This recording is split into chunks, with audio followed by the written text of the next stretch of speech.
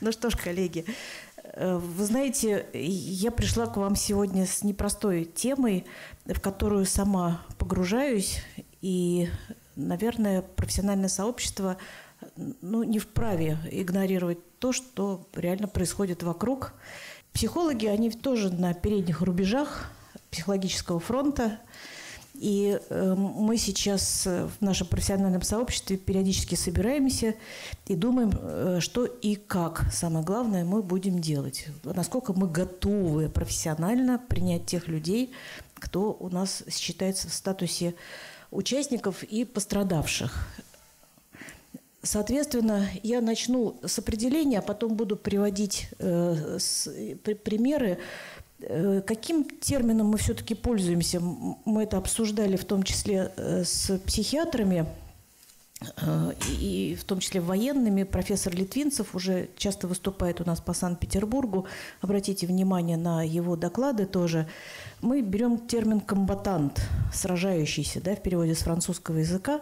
То есть эти те лица, которые входят в состав вооруженных сил государства, это в том числе добровольцы, которые ушли э, в зону военных действий, это ополченцы, партизаны, э, различные движения, внутренние сопротивления – это те, э, кто является представителями одной из конфликтующих сторон и имеет право Э, держать в руках оружие и выполнять все боевые задачи. Да? Но э, не только там находятся в этой зоне СВО комбатанты, это и нон-комбатанты, те, которые не участвуют непосредственно в боевых действиях, но мы смотрим их репортажи, мы видим, как там работают священники, да, как они тоже попадают в плен, э, как они подвергаются да, психологическому и другому насилию. Это разные гражданские служащие, персонал, э, ну и, конечно же, наши доблестные медики, они имеют применять право оружия только в целях самообороны, да, но в военных действиях не участвуют. Соответственно, когда мы говорим о боевой психической травме, то тоже придерживаемся именно этого термина – боевая психическая травма э, – Существует много здесь, как всегда, терминологических разночтений. Вот. Э, кто-то из коллег нам все время э, такой запрос озвучивает. Расскажите про ПТСР у военнослужащих. Дело в том, что ПТСР у военнослужащих – это одно из многочисленных проявлений в их психическом состоянии, с чем мы можем реально иметь дело в нашей психологической и в том числе клинической, да, психиатрической практике. Поэтому термин «боевая психическая травма» он намного шире, чем посттравматическое стрессовое расстройство у комбатантов. Мы говорим о том, что вот эта группа боевых расстройств, острых и хронических, а, она э, очень обширна, и, как всегда у нас в психологии, все зависит от каждого конкретного человека. То есть есть человек, мы его исследуем и выбираем э, те э, методы вмешательства, в том числе и, может быть, фармакотерапию, если она понадобится. Здесь, конечно, с такими участниками да, СВО мы желательно э, работаем только в совокупности с врачами. Вот тот самый междисциплинарный подход здесь неизбежен. И мы говорим, что если человек э, оказался вот в этой ситуации, она длилась для него определенное время, то, конечно, возникают э, по различным причинам, под влиянием разных факторов, э, проявления вот этого боевого стрессового расстройства. В итоге, конечно, эти люди будут нуждаться к ресоци... в ресоциализации, да, как минимум в повторной адаптации после того, как они вернулись сюда на, мирное, на мирную землю. И э, структура вот этих разноплановых психических расстройств у комбатантов определяется в том числе преобладанием невротических э, либо других связанных со стрессом расстройств, а ПТСР э, составляет где-то по разным данным э, 67%. Э, да, ставят диагноз посттравматическое стрессовое расстройство. То есть вот этот профиль симптомологический да, боевых ПТСР, э, он э, все-таки может быть э, каким-то образом типизирован, и можно выделять здесь три базовых клинических варианта и обращать на них в своей психологической практике. Это тревожно-эксплозивный, диссоциативный и апатический. Вот. Ну, обещала примеры. В воскресенье по России-1 смотрела э, репортаж такой развернутый о том, как проходит э, реабилитацию, на, например, в Москве, э, в нашей э, клинике Росгвардии. Да? И там специалисты, в том числе и клинические психологи, э, делятся своим опытом и говорят о том, что некоторые из э, тех, у кого были ампутированы конечности, вообще не хотели вставать с постели. Вот, это про апатический, да. И ушло много сил и времени, чтобы их просто э, поднять с постели, потому что они не видели никакого смысла в своей жизни. И то, что сейчас сделали специалисты и нам показали вот в воскресенье, это, конечно, заслуживает не только похвала, а восхищения. Э, там, там все у них хотят жить, и кто-то вообще собрался после тяжелых ранений, даже имея ампутацию, вернуться обратно туда, в зону СВО. Вот. Э, то есть это все делать реалистично. То есть миф о том, что человек пришел с войны и спился, знаете, это уже не очень современно, потому что те же самые протезы, которые им ставят, а, а, они настолько электронные, удобные, и э, любой э, комбатант э, заказывает себе этот протез, говорит, какие бы функции он хотел туда заложить. И сейчас все это для них делается, и это не сказки, да. Вот. Ну и наша военно-медицинская академия, безусловно, приняла тоже и принимает по-прежнему э, очень тяжелый раненый контингент. Вот. Ну, не буду сейчас я во все это погружаться, я просто вам прокомментировала, что Э, действительно, среди тех, кто получил боевой вариант ПТСР, это расстройство, есть э, люди, не, не понимающие, не желающие жить. И часть из них, к сожалению, уже покончила с суицидами. Они возвращаются после э, госпиталя к себе в город, на родину, и через два дня уже уходят из жизни. Такие случаи уже с коллегами мы тоже разбирали. Вот. Поэтому э, мы здесь очень по- по-разному себя ведем надо уметь э, здесь э, выбирать э, даже нужные слова, потому что здесь любое слово либо оттолкнет э, военнослужащего, э, либо наоборот э, вы этим словом к себе притянете. Но тот же самый тревожно-эксплозивный тип, э, он э, когда э, лучше все-таки реабилитируется и успешно, устойчиво проходит ресоциализация, когда мы не просто занимаемся психологической помощью, а еще выстраиваем то социальное окружение, помогаем ему, существующее, либо вновь создаваемое для него, да, потому что обычно после всех этих военных историй жизнь человека существенно меняется. Что мы еще должны знать? Мы э, иногда имеем тоже э, такие примеры, когда человек оказался э, в зоне военных действий, и у него возникла острая реакция на стресс. В, в эти моменты он все воспринимает человек как жизненно опасное – Э, теряет контроль над собой и перестает, э, соответственно, логически рассуждать. Вчерашний пример мы обсуждали с нашими клиническими психологами. У нас там как раз вот в рамках э, работы вот этой медицинской комиссии при Комитете здравоохранения шла аттестация. Вот, и мы там были в комиссии, обменивались, соответственно, там разными кейсами. Вот. Вот один из кейсов. Молодой человек э, пришел в военкомат, чтобы отметиться. Да? Это осень 2022 года. Э, с ним переговорили, он подписал контракт. Э, его погрузили и повезли под Белгород. Да? Его опять погрузили и повезли под Мариуполь.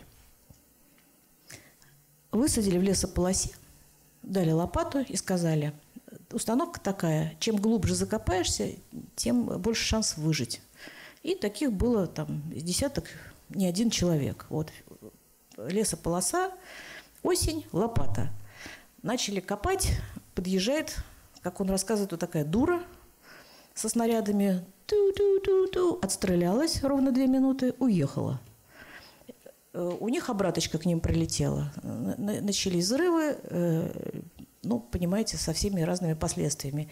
И он вместе с другим своим товарищем вскочил и побежал. Куда бежал? Хорошо, что в нашу сторону. Как-то вот интуитивно выбрал. Добежал. Его наши останавливают в бронежилетах, спрашивают, вы вообще двое что здесь делаете-то? Вы откуда? Они говорят, мы бежим. Ага, ну проходите, давайте побеседуем. Вот. Вы зачем сюда прибежали? Они говорят, сказать, что там плохо, там что-то надо делать. Ну, ну вот понимаете, вот так, такое поведение человека, который просто неожиданно оказался в зоне СВО. И таких примеров большое количество. То есть молодой человек там 20 плюс э, с лопатой в лесополосе, и все, и началась бомбардировка. Вот. Поэтому вот эти реакции острого боевого стресса – это как бы такое начало у многих, кто там оказывается. А далее, по, по мере нахождения, человек вынужден адаптироваться в этих условиях. Здесь уже никакие книжки, фильмы не помогают. Да? Э, вся эта подготовка, это все замечательно, но сами понимаете, э, там все, все, все уже происходит, как происходит. Вот. И, конечно, мы, психологи, прекрасно понимаем, что у человека есть определенные личностные, волевые качества и свойства, и они там имеют очень большое значение.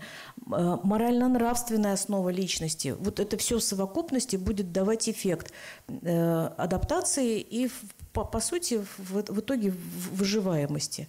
То есть человек, даже если очень хочет во все это встроиться и видит в этом для себя смысл, еще надо суметь это сделать. Да? И вот, конечно, на, на наш взгляд, вся эта э, профилактика бы не помешала, да, но опять-таки, чтобы мы там красиво не говорили, сидя в креслах в кабинетах, да, этим людям, все равно там все будет снесено. Несколько взрывов вокруг, вот, стоны смерти, и, и, и все наши консультации на этом закончатся.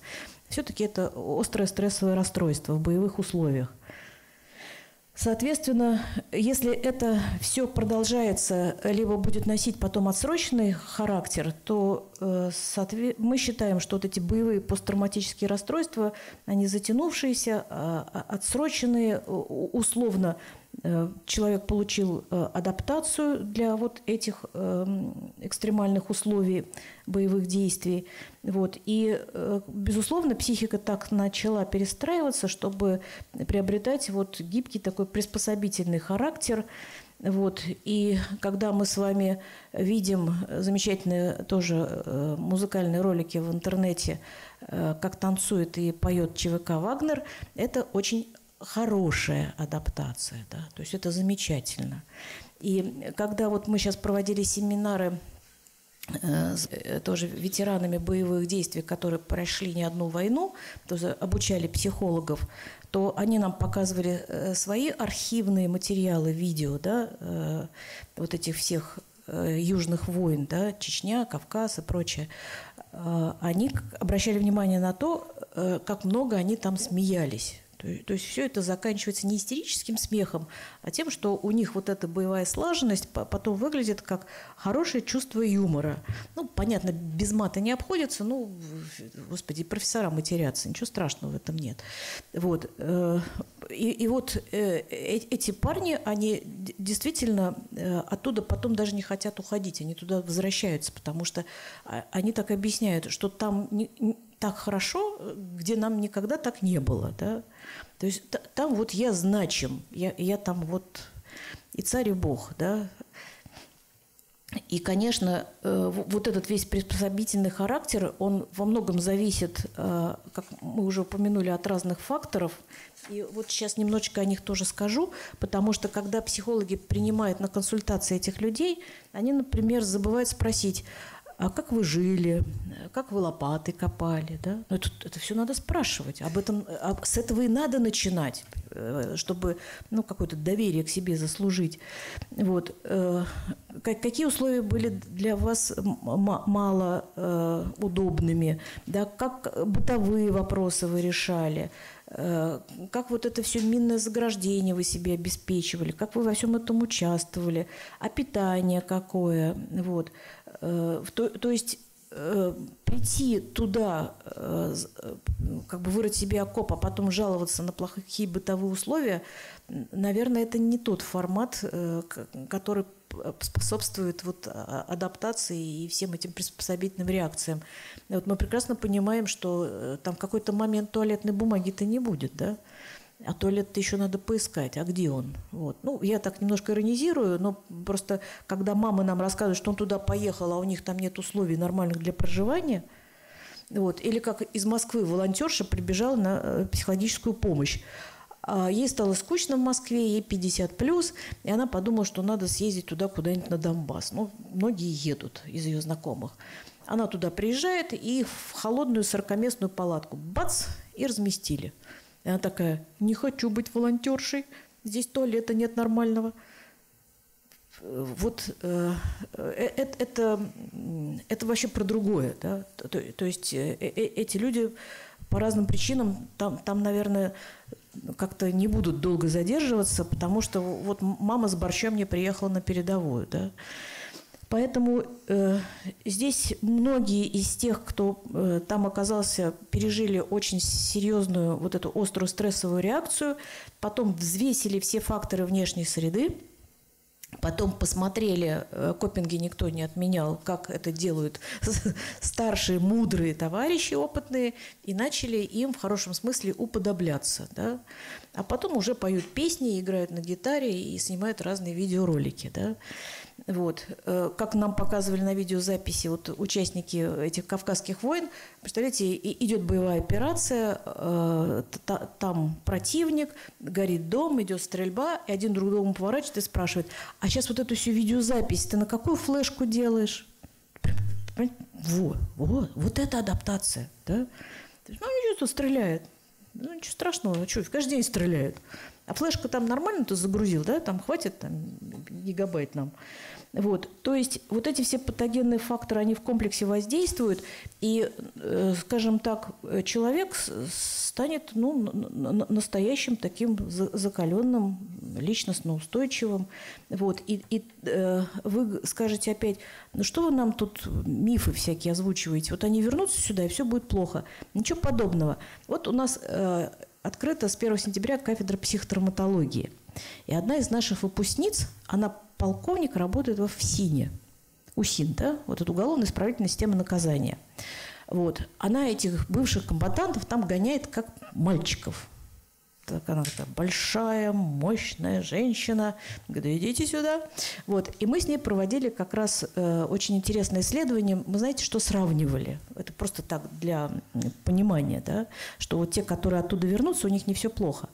Вот. Э, она э, взяла две выборки. Одни, которые пришли с гражданки и э, курируют э, всех тех, кто лишен свободы, да, вот в этих тюрьмах, а другие, которые пришли с боевых действий когда-то, бывшие комбатанты. И вот эти две группы она сравнила. Знаете, как они радикально отличаются? Те, которые с гражданки пришли, у них алкоголизм, да, Э, гаджет-зависимость очень серьезная, э, тревожность повышенная, э, у них все признаки такого посттравматического стрессового расстройства по разным причинам, они плохо организованы, все время опаздывают и вечно чем-то недовольны, то есть у них такой сниженный фон настроения. А те, которые пришли из зоны военных действий, они очень редко алкоголизируются, они очень э, любят заниматься спортом. Они всегда приходят вовремя либо заранее. Они очень бдительны и быстро реагируют в каких-то непростых э, ситуациях. То есть вот эта группа бывших комбатантов по всем психологическим тестам, они каждые полгода их тестируют. У нас есть эта система отслеживания в УСИН. Вот, э, показывают весьма высокие результаты по сравнению с тех, кто вот там находится, вот, не пройдя все эти военные действия. Вот. Конечно, э, мы можем здесь еще сказать э, о реакциях боевого стресса. Э, например, патохарактерологические реакции, они э, объединены в такое понятие, как комбатантная акцентуация. Можно почитать работы Лыткина. Э, это такие типичные ранее описанные изменения личности, которые проявляются вот, с точки зрения расстройства адаптации там могут быть и транзиторные расстройства личностные, либо более очень серьезные расстройства адаптации с изменениями в поведении. Вот. Э, транзиторный, ну, это такой, который возникает э, по мере усугубления там, боевой обстановки, например. И, э, конечно, и если вот эта комбатантная акцентуация оказывается по разным тоже индивидуальным причинам весьма выраженной, то человек будет отличаться патологическими личностными реакциями, там будет изменено поведение, вот, и здесь будут большие трудности в плане такой устойчивой адаптации. Вот. Э, второй э, здесь тип реакции – это невротические, тревожные, депрессивные, смешанные, тоже обусловленные расстройством адаптации. Э, это такой комплекс достаточно разрозненных вот симптомов э, невротического регистра, вот, э, которые порой э, в индивидуальных вариантах тоже не оформляются в эту какую-то структуру отдельно э, такого выделяемого синдрома. Вот. Они обычно не сильно препятствуют функционированию и э, потом воспринимаются после окончания участия в боевых действиях как дополнительная трудность. И вот здесь как раз консультации клинических психологов очень-очень э, могут быть полезны. Ну и э, третий уровень – это остроэффективные реакции, потому что э, в зоне СВО люди переживают э, эмоциональное напряжение, и это носит длительный характер, придумывают способы э, редуцирования его. И все эти э, эмоциональные, э, поведенческие, э, все, все эти переживания да, и действия, они, конечно, связаны с тоже восприятием всего происходящего, с, с умением встраиваться, э, с гибкостью приспособленческой да, вот, этих участников. Но считается, что как только человек оказывается в спокойной обстановке, тоже он будет стремиться в целом к нормализации. Ну и мы, э, безусловно, в рамках сегодняшнего доклада будем потихонечку заканчивать и скажем, что вообще можно использовать в своей работе э, такой тоже термин, как комбатантная акцентуация личности, потому что здесь мы понимаем совокупность приобретенных в результате боевого опыта и выборочно закрепленных э, вот, среди ранее существовавших личностных характерологических особенностей э, у людей. Вот. И, конечно, часть из них будут способствовать ресоциализации и потом человек устойчиво, как мы привели пример, э, в тех же самых службах уголовно-исправительного наказания будет э, работать вот, и чувствовать свою востребованность и значимость, а часть из них будет накапливать свой фон для возникновения более серьезных клинически очерченных психических нарушений. И вот здесь, конечно, все эти зависимости это, это очень э, такое непростое отягощение, с которым приходится все-таки справляться, да, вот тем, к тем, кто понимает, что попал еще и в этот плен, да, и со всем этим, конечно, на, на, надо будет постепенно разбираться. Вот, готова ответить на вопросы в рамках своей компетенции. Еще раз подчеркну, что э, всеми этими темами мы сейчас занимаемся содружественно со многими специалистами, в том числе с теми, кто не понаслышке знает, что такое да, друзья, условия да, боевых действий. Вопросы мы договорились как раз, что у нас есть время, и всем докладчикам перед вами задавали вопросы. А, так как а, еще есть а, почти 15 минут, то может быть даже больше, чем а, три вопроса. А у меня есть маленький комментарий еще к докладу. Да, пожалуйста. Здравствуйте. Скажите, пожалуйста, капотанты очень часто переносят весь этот свой стресс, который они были на боевых действиях, на членов их своих семей, на родственников, особенно на детей. И очень часто переносят всю эту стрессовую ситуацию в интимную жизнь на своих жен – Скажите, пожалуйста, вот есть какие-нибудь исследования по этому поводу, потому что очень часто сейчас это встречается с теми людьми, которые пришли с СВО? Да, действительно, это всегда было. Это все те проявления, которые входят в том числе в посттравматическое стрессовое расстройство. Если говорить языком нейробиологии, физиологическим языком, там вот амигдала, как э, центр тревоги, постоянно работает. То есть там есть эта кнопка, на которую нажимает человек, вот, и э, даже легкие какие-то внешние э, воздействия воспринимаются и, и, им э, более выраженно, да, вот. И из-за этого и, и идут вот эти все трудности в приспособительных реакциях э, в процессе уже мирной жизни. Э, для таких военнослужащих э, десятилетиями разрабатывались программы реабилитации и психологической помощи, и очень много методов было благодаря этим экспериментам и исследованиям создано. Ну, предположим, есть такой метод лечения виртуальной реальностью. Да? То, есть э, спрашивают, в каких э, действиях как участвовал человек, создают это все э, в 4D формате, могут даже запахи туда добавлять и прочее, прочее.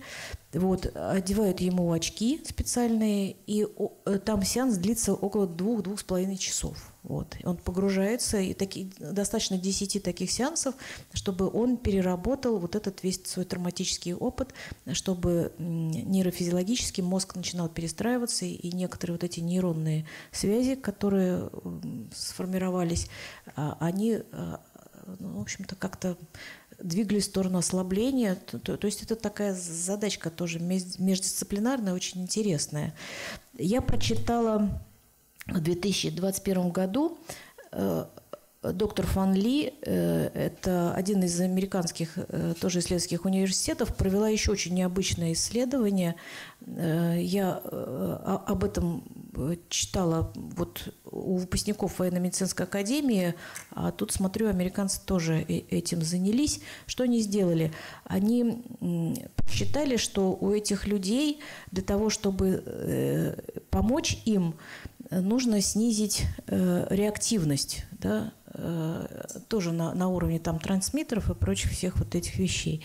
Вот. И тогда они э, предложили э, создать и создали и опробировали на комбатантах бывших пептидное соединение. То есть есть так называемые нанопептиды. Они взяли две клинические группы. Первая группа – это те, которым давалась традиционная фармакотерапия, а вторых лечили только нанопептидами. Вот. Э, те, которые попали во вторую клиническую группу, э, у них, э, во-первых, были достигнуты такие же результаты, но без всяких побочных эффектов, однако медленно, три раза медленнее, потому что все-таки белок, когда он встраивается в клетку и начинаются все эти процессы регенерации, а они проходят ну, неделями, то и месяцами, вот, в зависимости тоже от степени да, поврежденности. И э, в итоге у них у всех улучшилось настроение, и они могли спокойно социализироваться без всяких побочных эффектов. То есть э, лечение э, нанопептидами э, оказалось еще одним способом, не фармакологическим, который можно применять для вот так, такой комплексной реабилитации бывших комбатантов. Вот. Кроме того, э, существуют различные тоже институты по изучению стресса, в том числе и боевого в Израиле. Там постоянно идут эти действия военные, ни для кого не секрет.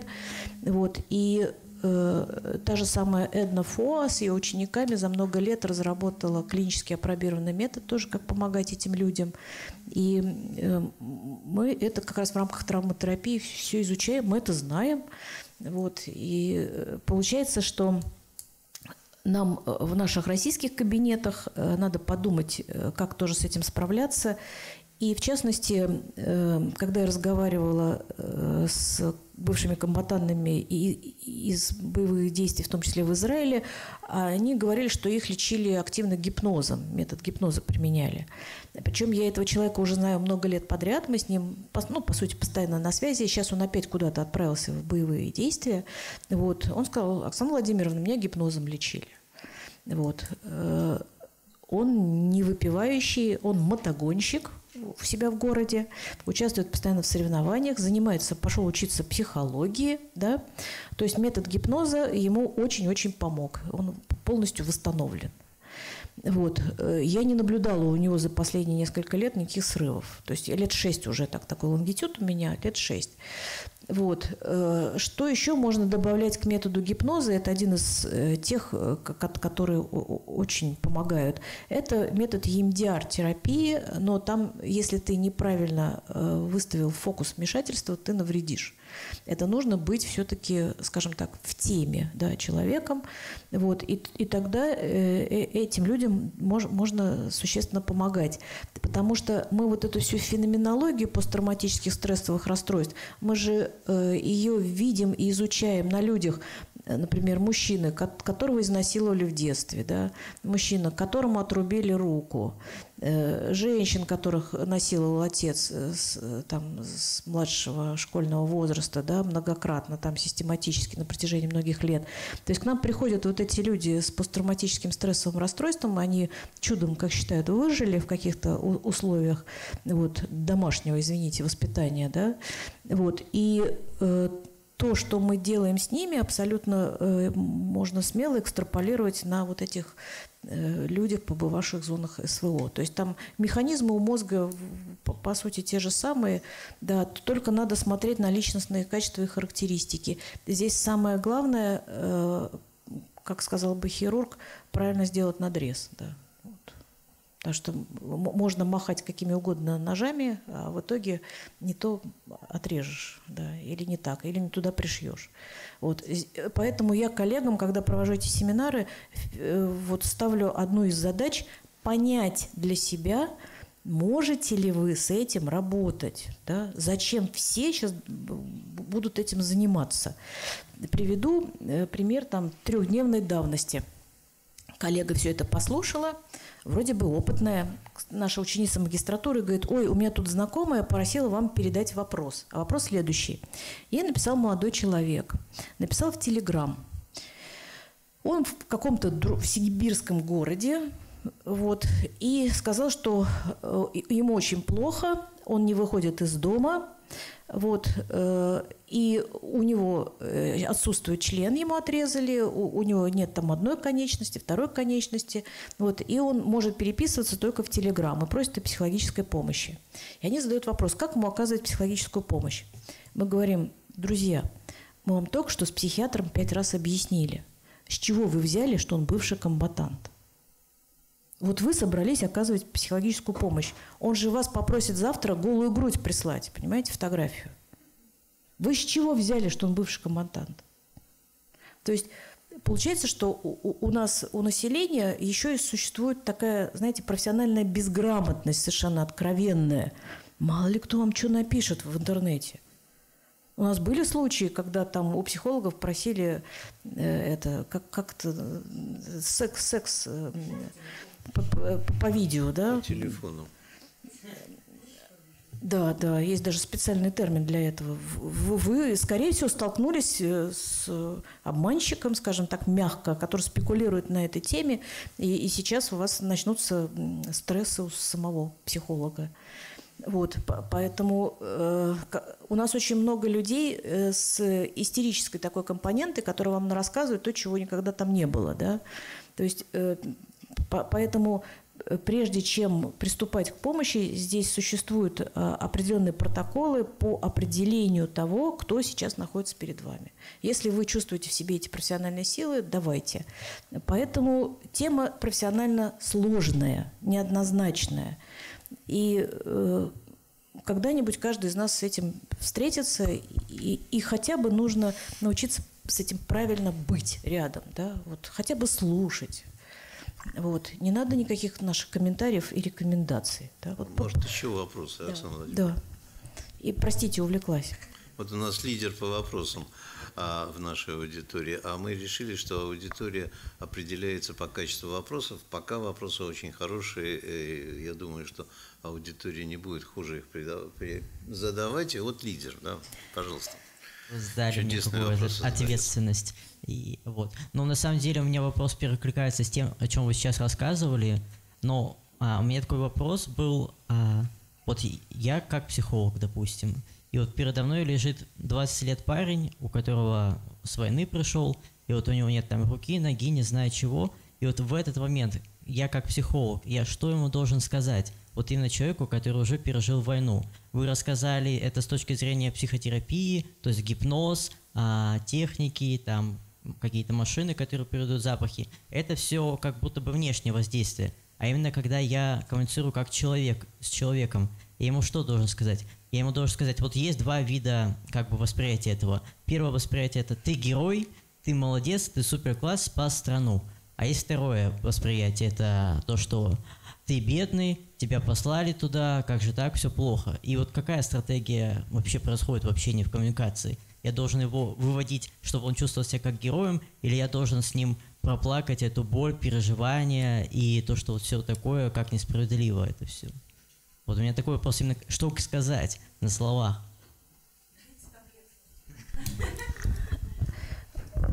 Первое, что вы должны спросить, ну и как здесь у вас кормят? Вот что вы должны спросить. Как вас здесь кормят? Может, воды принести или есть вода, да?